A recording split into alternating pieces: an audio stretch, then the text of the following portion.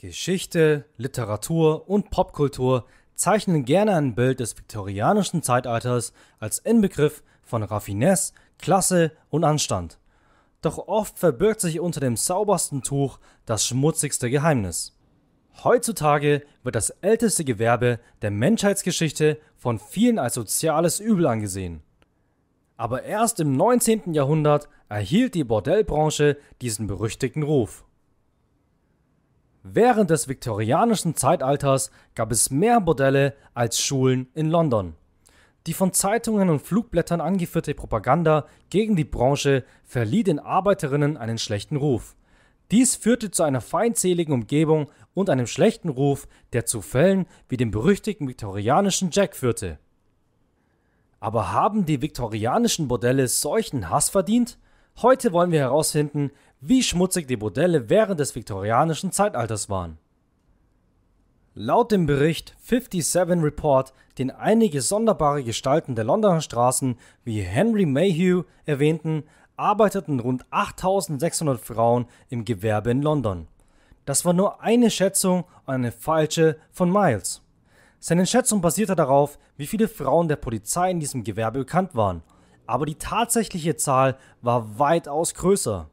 Im Jahre 1857, dem Höhepunkt des viktorianischen Zeitalters, waren 80.000 Frauen in London in diesem ältesten Gewerbe der Menschheit tätig. Die Beliebtheit des Gewerbes ergibt Sinn in viktorianischer Zeit, da die Bordellbranche im 17. und 18. Jahrhundert ein goldenes Zeitalter erlebte und trotz des sich ändernden gesellschaftlichen Verständnisses immer noch florierte. Ich meine, es gab keinen besseren Ort, um Geld für die eigenen Bedürfnisse zu verdienen. Angenommen, du wärst eine gut ausgebildete Frau zur Höchstzeit, als eine andere prominente Frau dein Land regierte, und dir wurden reichlich Möglichkeiten geboten, zu lernen und produktiv in der Gesellschaft zu sein. Es gab jedoch einen Haken. Dein Geschlecht bestimmte immer noch dein Einkommen und nicht deine Anstrengungen. Frauen, die in College hohe Fähigkeiten wie Tastaturschreiben und Stenografie erlernten, denn seien wir ehrlich, wir reden hier von dem 19. Jahrhundert und nicht den besten Möglichkeiten, verdienten aufgrund von Geschlechtervorurteilen selbst dann nur durchschnittlich 25 Schilling pro Jahr, wenn sie es bis zu den höchstmöglichen Positionen in angesehenen Einrichtungen schafften. Das reichte bei weitem nicht aus, um sich selbst oder ihre Kinder zu unterstützen, und sie waren immer noch weitgehend von den Gehältern ihrer Ehemänner abhängig. Im krassen Gegensatz dazu boten Bordelle ihnen kürzere Arbeitszeiten und höhere Löhne, die in bar ausgezahlt wurden. Wenn du mit gutem Aussehen gesegnet warst, bot dir dieser Beruf in kurzer Zeit eine viel bessere Chance auf Erfolg.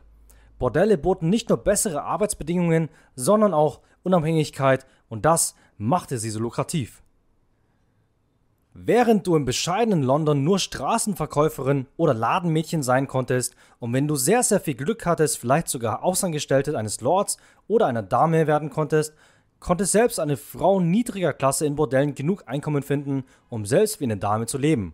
Nun ja, nicht für alle, aber sie konnten dennoch ein gutes Leben führen, ohne von einer männlichen Figur abhängig zu sein. Wie also konnte man erfolgreich wie eine Dame werden, während man in diesem Beruf tätig war? Nun, wie bereits erwähnt, konnten nicht alle Frauen in diesem Gewerbe diesen Status erreichen. Tatsächlich gab es während des viktorianischen Zeitalters drei Klassen von Fachkräften in der Branche. Um einen prunkvollen Lebensstil wie der Adel des 19. Jahrhunderts zu erreichen, war die allererste Voraussetzung in der Bordellbranche, wirklich attraktiv zu sein. Hier sprechen wir von Schönheit auf dem Niveau von Bella Hadid und Lupita Nyong'o. Natürlich ist das übertrieben, aber du verstehst, was ich meine, oder? Diese Frauen bedienten nur die Elite, Adlige und Aristokraten, Mitglieder des Parlaments, Personen, die mit der königlichen Familie verwandt waren, die Lords, Generäle und die Creme de la Creme der Industriellen. Solche wohlhabenden Menschen.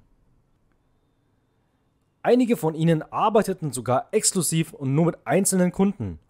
Da diese Kurtisanen oft als Geliebte endeten und mit den Familien ihrer Kunden lebten oder manchmal auch deren Ehefrauen wurden, gab es sozusagen ein Happy End, nicht wahr? Auf mehr als eine Weise. Dies waren natürlich die am besten bewerteten Kurtisanen. Die mittlere Klasse der Bordellarbeiterinnen, ähnlich wie die hochrangigen Kurtisanen, arbeiteten tatsächlich nicht in Bordellen. Es waren die Frauen, die lieber freiberuflich arbeiteten. Sie hatten ihre eigene Wohnung, um eine Vielzahl von Kunden zu bedienen. Und manche arbeiteten auch auf der Straße. Das brachte die Unabhängigkeit mit sich, ihre Kunden auszuwählen und keinen Chef zu haben. Aber andererseits hatten diese Frauen keine Jobsicherheit oder Schutz wie die Bordellarbeiterinnen. Sie waren anfällig für ansteckende Krankheiten und verrückte Kunden.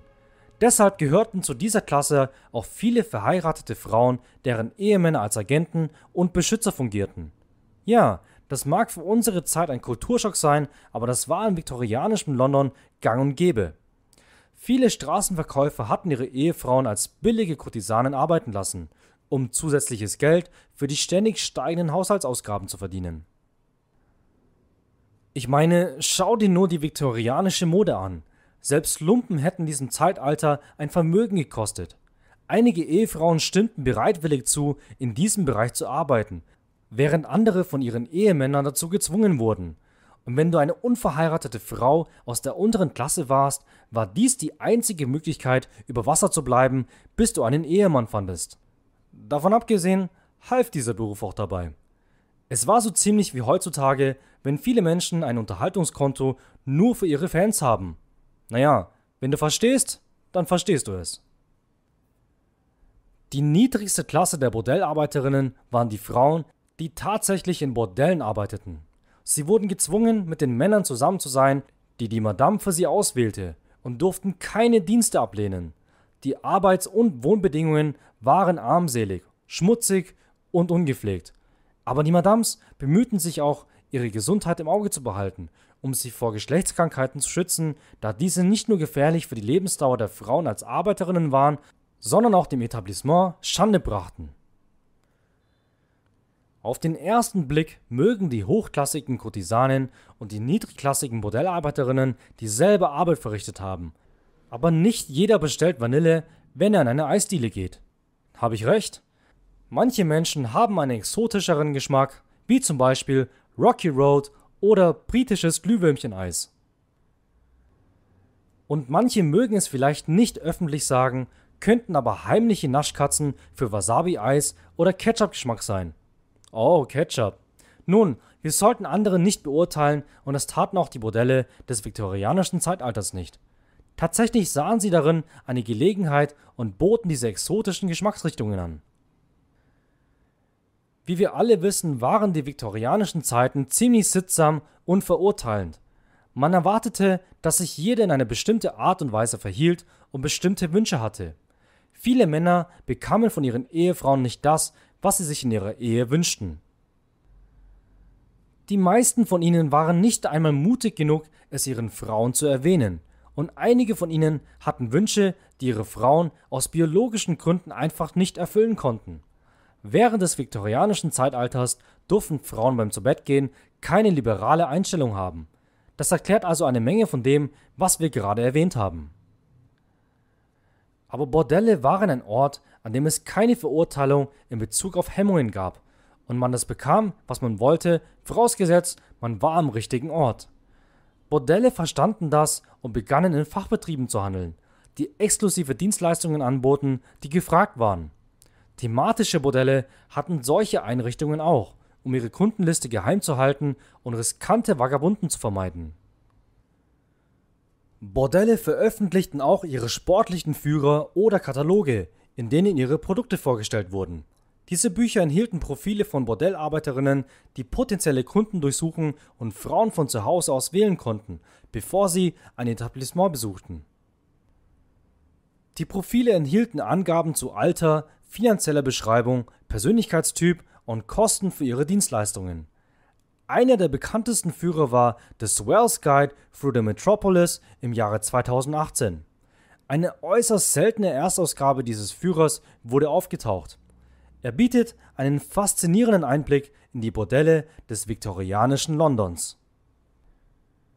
Das 19. Jahrhundert mochte in vielerlei Hinsicht konservativ sein, aber wenn es um die Bildung von Frauen ging, war es liberal. Selbst Bordellarbeiterinnen erhielten eine formale Ausbildung. Die Bildung für Frauen war jedoch immer noch auf Fähigkeiten beschränkt, die sie attraktiv für die Ehe machten und nicht darauf, dass sie tatsächlich ihren Lebensunterhalt verdienen konnten. Die Mehrheit der Arbeiterinnen aus der Arbeiterklasse konnte weder lesen noch schreiben. Laut Henry Mayhew waren nur 5% der Bordellarbeiterinnen aus der niederen Klasse alphabetisiert. Sie baten ihre Kunden oft, ihnen Zeitungen vorzulesen, damit sie auf dem neuesten Stand der aktuellen Ereignisse bleiben konnten. Höherklassige Kurtisanen hingegen beherrschten viele Fähigkeiten wie Etikette, Tanzen, Zeichnen und Klavierspielen.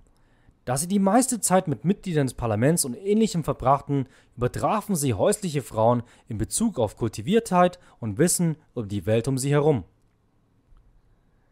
Eine weitere Herausforderung als Bordellarbeiterin war die ansteckenden Krankheiten, die am häufigsten bei jungen Männern im Militär verbreitet waren. Geschlechtskrankheiten waren im 19. Jahrhundert so verbreitet, dass sie genauso viele Soldaten töteten wie diejenigen, die in den Kampf zogen. Daraufhin wurde im britischen Parlament das Gesetz über ansteckende Krankheiten erlassen. Jede Frau, bei der der Verdacht bestand, dass sie sexuelle Dienstleistungen anbot, konnte zu einer unausweichlichen medizinischen Untersuchung vorgeladen werden. Wenn festgestellt wurde, dass sie infiziert war, wurde sie zur Rehabilitation für gefallene Frauen gezwungen und musste dort bis zu drei Monate bleiben. Obwohl das Risiko, sich Geschlechtskrankheiten zuzuziehen, in dieser Branche hoch war, waren die Frauen, die in Bordellen arbeiteten, tatsächlich gesünder als durchschnittliche Arbeiterinnen der Arbeiterklasse, da sie keinen anstrengenden 14-Stunden-Arbeitstag in Fabriken absolvieren mussten. Also, was denkst du? Hättest du als Frau im viktorianischen Zeitalter überleben können?